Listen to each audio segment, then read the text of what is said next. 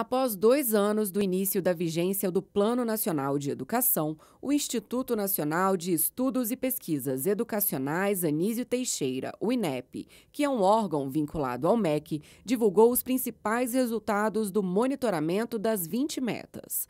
Os resultados foram publicados pelo órgão em outubro deste ano, durante um seminário, e entraram para a retrospectiva do MEC como uma das ações de importância realizadas pela pasta neste ano.